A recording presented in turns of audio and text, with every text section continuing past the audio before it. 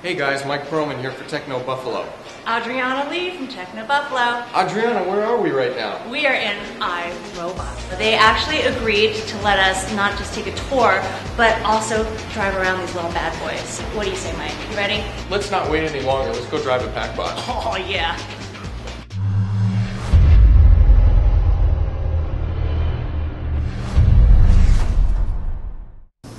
With Tim, who's the president of the G- uh, G&I division. Is that correct? That's correct. And uh, he's going to give us a little rundown of what these folks are into on the military side of the operations here at iRobot. All of our uh, robot systems are controlled primarily with game-style controllers with what we call an operator control unit, an OCU, essentially a hardened, uh, hardened laptop. Unlike myself, everybody who comes into the Navy, all the kids who come into the Navy or to the Army, generally have thousands of hours of operation time on a, on a game-style controller and can pick up the operations of these things very easily. Very easy to understand displays and scripts.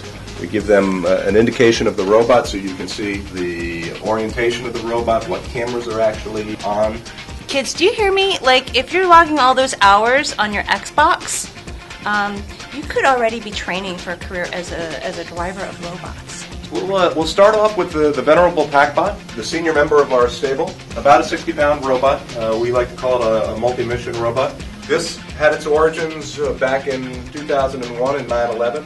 Uh, we were in the caves in Afghanistan in the 2002 2003 timeframe.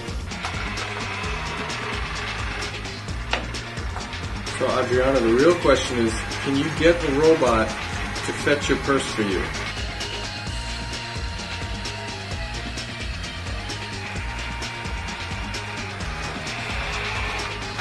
When robots replace men. The next time I go shopping, I'm not asking my husband to hold my purse anymore. I'm just going to bring this guy with me.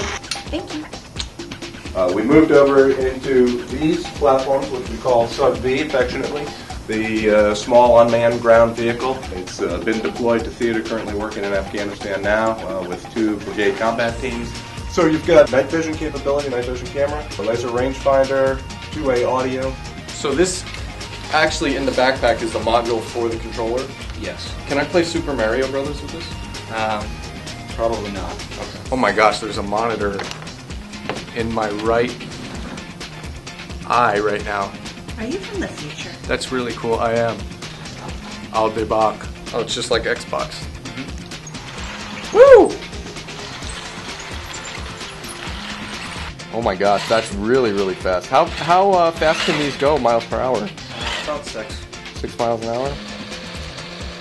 Uh oh. He's not happy. I just tried a circuit. Probably not the most stable driving position. Yeah, you're right.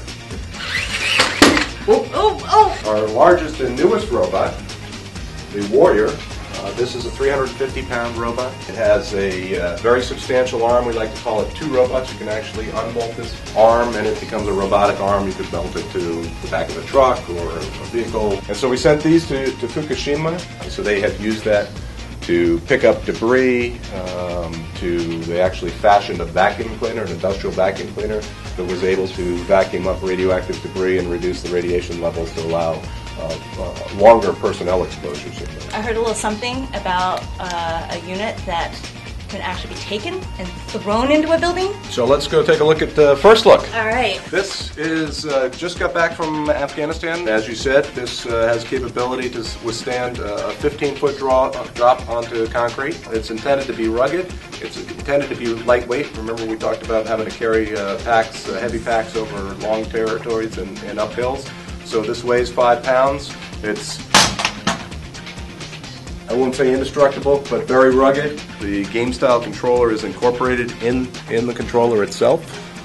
Uh, so all the functionality that I would have with a normal game style controller is here, as well as, well as a display. A great tool that a soldier can use to throw in an unknown zone to determine whether there's a hostile threat in there, but as importantly, whether there isn't a hostile threat. How much uh, is something like this? Like, what does it cost to produce? Uh, it's uh, about uh, twelve to fifteen thousand dollars. Twelve to fifteen thousand.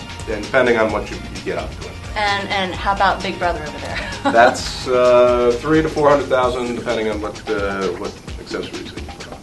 So That's, yeah, just wrap it up. I'll take one to go. Just, that's amazing.